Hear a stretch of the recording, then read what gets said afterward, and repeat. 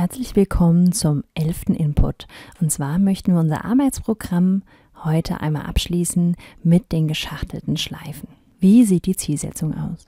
Sie können Probleme durch Reduktion der Bedingungen und sprachliche Strukturierung vereinfachen und grafisch lösen. Sie kennen verschachtelte Schleifen in der Informatik als Strukturen der Formen. Für das x soll y passieren, wobei y wiederum selbst eine Schleife ist. Sie können einfache Probleme mittels geschachtelter Schleifen lösen. Wie sah denn eigentlich nochmal unsere Problemstellung aus? Also wir wollten in einem Garten in einer Streuobstwiese Rasen mähen mit einem Mähroboter. Da es eine Streuobstwiese ist, muss unser Roboter aus den Bäumen ausweichen und demnach in unserer Modellierung, in unserer Kunstwelt entsprechen die Bäume Blöcke, also muss unser Roboter Blöcken ausweichen. Da es sich um eine Streuobstwiese handelt, sind die Bäume ohne System verteilt. Was wir aber wissen, dass die Größe des Rasens bekannt ist. Und zwar ist sie in unserem Fall 15 mal 15 Felder groß. Wie haben wir das gemacht? Wir haben es aufgeteilt in ein äußeres und ein inneres Vorgehen. Und heute wollen wir diese Sachen, die wir in den letzten drei Sitzungen erarbeitet haben, zu einer Gesamtlösung zusammensetzen. Wie hat es nochmal mit dem Ausweichen funktioniert? Wir schauen es uns erst nochmal grafisch an. Unser Roboter steht hier und dann können wir abfragen, ob das Feld vor ihm frei ist. Das wäre in dem Fall nein, weil wir einen Block haben. Also muss der Roboter sich nach rechts drehen, eins laufen, links drehen, zwei laufen, links drehen, laufen, rechts drehen und dann steht er hier und wieder richtig rum. Und wie haben wir das gemacht? Wir haben, wie das Turn Right eine eigene Methode namens Sidestep ausgelagert, so dass wir unseren Roboter jetzt jedes Mal nicht neu diese ganzen Befehle schreiben müssen, sondern wir können sagen Sidestep und wir wissen, damit weicht der Roboter aus. Und das war neben dem Turn Right, also der Rechtsdrehung, die wir vorher nicht hatten, eine große Motivation für unsere Methoden. Was haben wir noch gemacht? Wir haben das Problem reduziert. Wir haben nämlich erstmal gesagt, wir haben keine Bäume. Was muss man da alles nicht machen? Man muss nicht überprüfen, ob ein Baum vor dem Roboter steht. Man muss daher nicht ausweichen, sondern nur laufen. Und heute werden wir zwar mit dem Problem anfangen, aber trotzdem zu eigentlichen Gesamtlösungen kommen. Nun schauen wir uns das Übersetzen in nächste Spalte an. Das haben wir nämlich in den letzten Sitzungen immer einfach außen vor gelassen. Wie machen wir das? Wir schauen uns auch erstmal grafisch an. Angenommen, wir haben hier unten gestartet, sind die ganze Spalte hochgelaufen und befinden uns hier. Jetzt möchten wir ja, dass der Roboter einmal in die nächste Spalte übersetzt, damit wir dann wieder unser inneres Vorgehen machen können, dass der Roboter die Spalte entlang läuft. Und wie funktioniert das, das Übersetzen, wenn der Roboter einmal nach oben schaut? Er muss sich einmal nach rechts drehen, fragen, ob hier das Feld frei ist, einen Schritt laufen und dann wieder nach rechts drehen. Und dann steht der Roboter hier und schaut nach unten. Und dann kann die das innere Vorgehen wieder durchlaufen.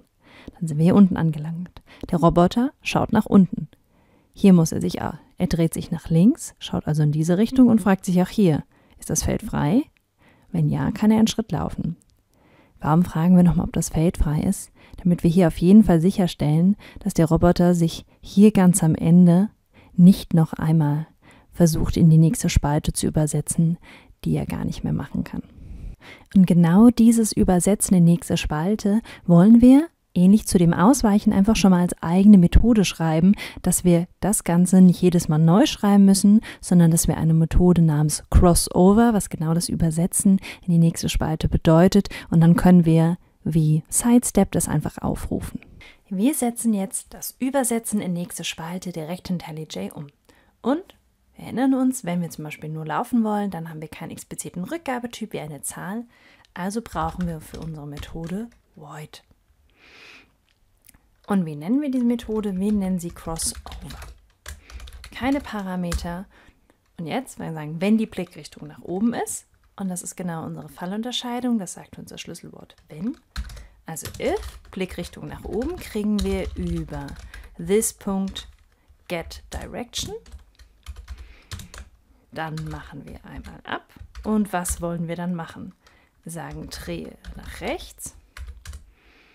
Dann, wenn das Feld, also ist das Feld frei, das ist wieder eine Abfrage, also if this Punkt is front clear.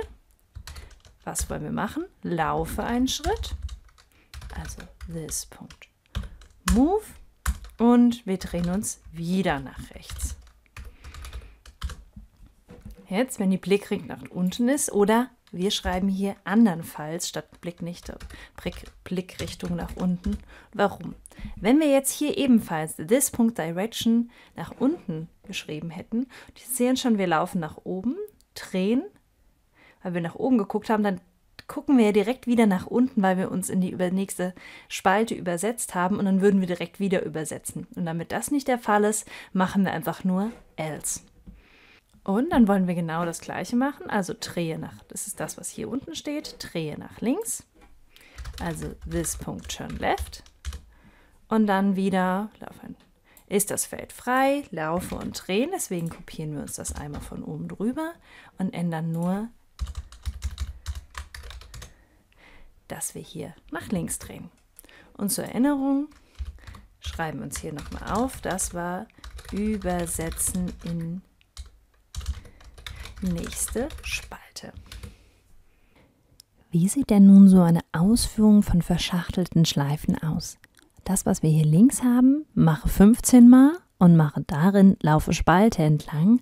Das ist so, wie wir es ganz am Anfang schon mal überlegt haben. Und hier steht noch, anschließend übersetze in nächste Spalte. Das müssen wir nicht machen, wenn wir eine Spalte lang gelaufen sind. Und hier sehen Sie es nochmal grafisch.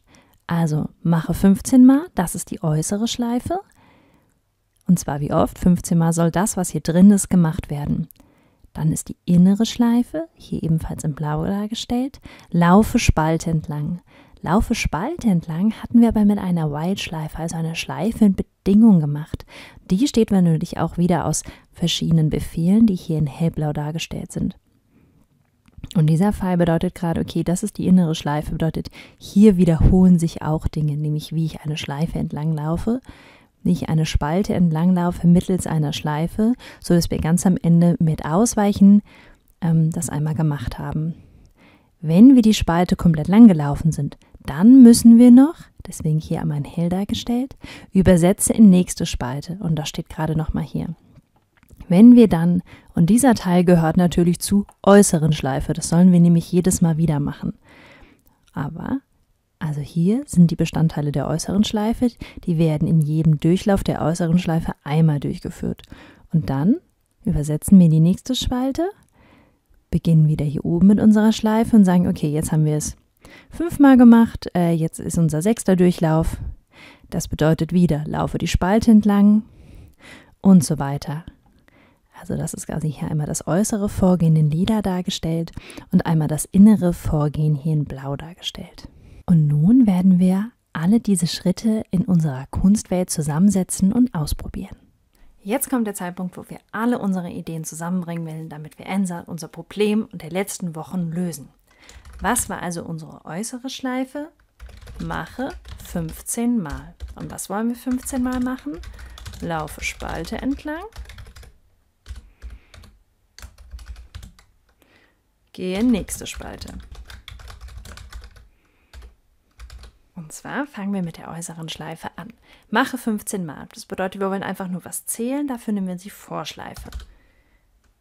Also vor. Wir fangen in i gleich 0 an zu zählen. Dann stimmt nämlich unser i genau immer mit unserer Spaltenzahl, also mit unserer x-Koordinate überein. Um es 15 Mal zu machen. Und wenn wir bei 0 anfangen, gehen wir nur bis 14. Und wir wollen jede Spalte betrachten. Also gehen wir immer nur eins hoch. Jetzt brauchen wir noch sagen, wie lang geht denn unsere Schleife? Was wollen wir alles wiederholen? Wir wollen bis hier unten wiederholen. Und gehe nächste Spalte, das haben wir glücklicherweise auch schon geschrieben. Also müssen wir unseren Roboter Alice einfach nur sagen, Crossover, das haben wir schon gemacht. So, jetzt laufen wir die Spalte entlang. Wenn un unsere Alice startet hier unten, und zwar soll sie jetzt die erste Spalte entlang laufen, und wenn sie Blickrichtung nach oben hat, dann soll sie so lange laufen, bis sie hier steht und hier nicht mehr laufen. Also in, dieser x-Koordinate, das ist nämlich die x-Koordinate 13, die geht hier von 0 bis 14, also ist das hier die 13, dann soll sie das letzte Mal laufen. Also haben wir hier schon unsere Fortsetzungsbedingungen für unsere Waldschleife. Denn wir haben ja gerade, solange deine y-Koordinate kleiner als 14 ist, laufe noch einen Schritt. Analog, wenn Alice hier steht und nach unten schaut, laufe so lange, wie deine y-Koordinate noch größer als 0 ist, denn wenn du hier stehst, sollst du nicht mehr laufen. Und das machen wir jetzt. Jetzt haben wir gerade gemerkt, oh, wir haben schon mal eine Fallunterscheidung nach oben, nach unten laufen und die schreiben wir uns jetzt erstes auf. Die Fallunterscheidung machen wir in unserem if. Also if Alice get direction up ist der eine Fall. Und der andere Fall ist genau, wenn sie nach unten schaut. Also down. Und im Fall nach oben hatten wir gesagt, sie soll so lange laufen, wie ihre y-Koordinate, also get y, kleiner als 14 ist. Analog dazu, wir machen jetzt beides gleichzeitig, wenn sie unten ist, sollte sie so lange laufen, wie ihre y-Koordinate größer als 0 ist. Und zwar, wie soll sie laufen? Sie soll ja immer laufen, wenn es geht, und ansonsten ausweichen. Und das ist bei beiden. Und damit wir das nicht mit dieser Laufen, wenn es geht, ähm, diese Fallunterscheidung nicht doppelt haben, schreiben wir uns dafür auch eine eigene Methode. Dazu gehen wir in Robert Wright rein und nennen es Laufe, wenn es geht, ansonsten weiche aus. Wie zuvor, wenn wir nur Laufen haben, ist unser Rückgabetyp Void. Wir nennen sie Move if possible, unsere neue Methode. Die ist parameterlos. Sagen, wenn der Weg frei ist, also this is front clear, was soll dann gemacht werden? Dann soll einfach nur ein Schritt gelaufen werden, dann ist der Weg frei. Wenn der Weg nicht frei ist, also andernfalls, dann müssen wir ausweichen. Das Tolle ist, ausweichen haben wir schon geschrieben, das war Sidestep. Das hatten wir hier oben schon geschrieben, dass der Roboter unserem Block bzw. Baum ausweicht. Und auf diese Methode Move if possible, die rufen wir jetzt hier wieder auf und sagen, solange das ist, laufe einmal.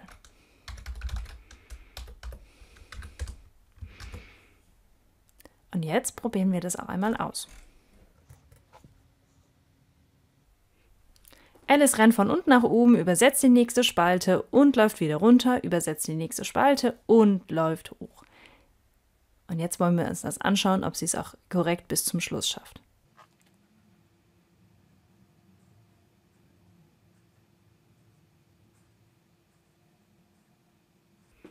Und das haben wir geschafft. Wir haben dieses komplette Problem jetzt einmal gelöst und wir haben so viel Neues dabei gelernt. Wir haben die Vorschleife gelernt. Wir haben gesagt, wir wollen etwas mit einer festen Anzahl durchlaufen. Das haben wir hier für die Spalten gebraucht. Wir haben die While-Schleife kennengelernt. Wir sagen, laufe, solange eine bestimmte Bedingung gilt, weil wir konnten ja nicht sagen, oh, Alice läuft so lange durch das Ganze ausweichen.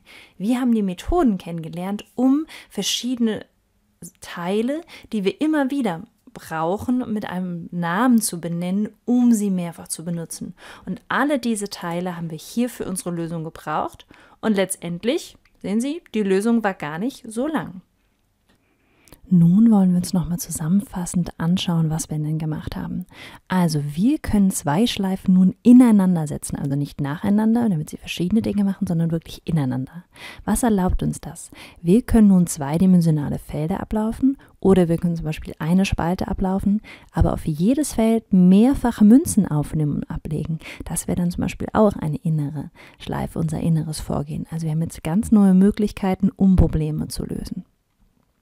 Sprachlich wird dieses Ineinandersetzung auch oft als Verschachtelung oder im Englischen nested bezeichnet. Also sprachlich haben wir sowas von der Art wie für jedes x soll y passieren. Und da ist y selbst wiederum durch eine Schleife modelliert. Was haben wir noch für Anwendungsfälle? Also zweidimensionale Anwendungsfälle sind relativ häufig. Hier sehen zum Beispiel ein völlig anderes Bild. Und zwar haben wir verschiedene Karten mit Bildern und wir würden gerne zählen, wie viel Obstbilder wir haben. Was müssen wir dazu machen? Ja, wir müssen alle durchgehen, aber wir müssen dem Roboter, unserem Computer wieder sagen, algorithmisch, wie gehen wir da durch? Und dann können wir sagen, okay, es ist eigentlich relativ ähnlich zu dem, was wir vorher hatten, von den Konzepten her. Wir können alle Zahlen durchlaufen und sollen von der einen Zeile in die nächste durchlaufen. Und dann denken wir unsere Avocado.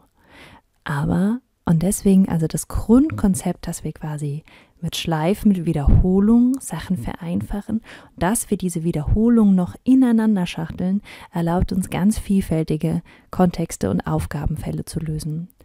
Und so zweidimensionale Anwendungsfälle sind wirklich sehr häufig, ähm, stellen sich auch einfach nur jegliche äh, automatische Bild, irgendwie Verarbeitung oder sonstiges da, weil wir alles diese zweidimensionalen Bilder mit den Pixeln haben, die wir dann noch alle zählen können. Also diese zweidimensionalen Anwendungsfälle sind wirklich sehr häufig. Und wir hatten es gerade so, dass die äußere Schleife eine Vorschleife war, also eine Schleife mit fester Anzahl, und die innere Schleife eine Schleife mit Bedingung, eine White-Schleife. Das kann auch und anders gemischt sein, aber es können auch ähm, Schleifen gleicher Art sein. Wir können aber natürlich auch noch mehr als nur zwei Schleifen ineinander machen. Ähm, Sie können beliebig viele Schleifen ineinander machen, ähm, zum Beispiel für dreidimensionale Anwendungsfälle oder wenn Sie auf jedem von, unserem, von Ihrem zweidimensionalen Anwendungsfeld zum Beispiel noch mehrfach Sachen machen wollen. Hier könnten Sie sagen, ich möchte jedes Blatt durchgehen und dann brauchen wir schon quasi zwei Schleifen und in jedem Blatt möchte ich dann auch noch ganz, ganz viele äh, hier dieses Obst und Gemüse in Scheiben schneiden, dann hätten wir schon wieder eine Schleife, dann hätten sie drei ineinander geschachtelt Schleifen. Also Sie sehen, dieses Konzept lässt sich sehr gut auch auf weitere Sachen übertragen.